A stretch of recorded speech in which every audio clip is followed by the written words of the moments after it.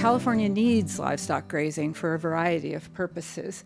For one thing, Cal- livestock in California remove approximately, this is a back of the envelope uh, calculation that a student of mine did, about 9 million tons of biomass, mostly dried annual grasses or annual grasses also not dried, but would also actually wind up as dried annual grasses if they weren't consumed by livestock.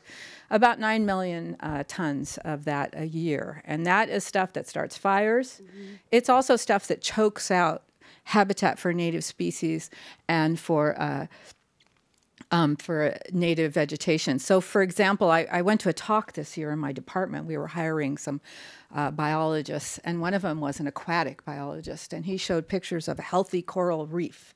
And there are these beautiful fish swimming around the healthy coral. Many of them are herbivorous. They swim around eating and gnawing on uh, algae all day, I guess, in these coral reefs. And then the next picture he showed what happens if you take those fish away and the whole thing becomes overwhelmed by algae. And I, I looked at that and I thought, oh my God, California is kind of in that state. Mm-hmm. We have this mm. tremendous growth of vegetation. And a lot of that is related to the fact that our vegetation is not, it's a mix of vegetation that's been here and evolved here.